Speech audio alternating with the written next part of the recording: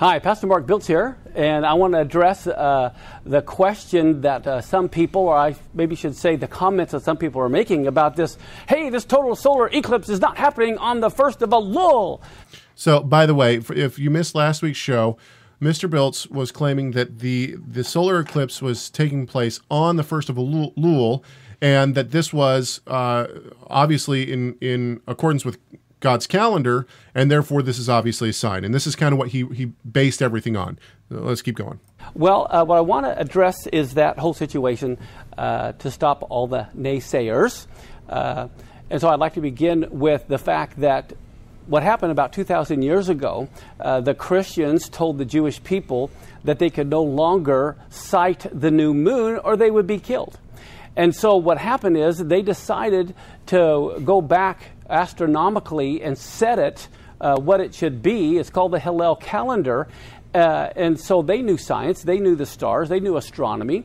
And so 2,000 years ago, they were able to create this calendar that hasn't changed in 2,000 years. Okay, so um, can you, know, say 2,000 years one more time? okay, hang on. So, so what Mr. what Mr. Biltz says here that the Christians told the Jews that if they sighted the new moon, they were going to be killed. Now, so first of all, two thousand years ago,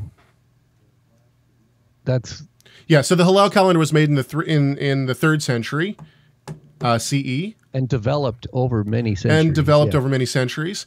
Um, I went back and you know I thought this was a fantastic claim and and uh, and I wanted to see if there's any validity to it. Now I I'm I would be happy for anyone to bring and we have some people in the chat room um, and that that might be able to alert us to this. I looked and to see if there was any historical claim that I could find of the Jewish people telling the Christians that if they sighted the moon, new moon, they'd be killed. I couldn't find it anywhere. Not only that, but from what I found, and I, you know, I uh, asked my father if he knew anything. I did some research myself. From what I I've found, never, I've never even heard that. I haven't either, but the that's a myth. The, yeah, so the so the Hillel calendar was created because of the dispersion. The Jews were in all different places, and there was no temple. And uh, the the sighting of the new moon was not just uh, some any any old person going out and saying, "Oh, look, it's a new moon." That's not how it worked in the in the first century when the temple was was standing. Uh, there was all these debates between uh, Pharisees and Sadducees, and well, not only that, not only that, the Jews were not the only ones with the lunar calendar and ba- the Babylonians were still keeping a lunar calendar. There, there was there's a lot of lunar sighting going on. There's a lot of stuff going on in the larger cultural context. This is yeah. I, but but once once once hang on. But once people were once uh, the temple was destroyed and the the full dispersion happened. Guess what?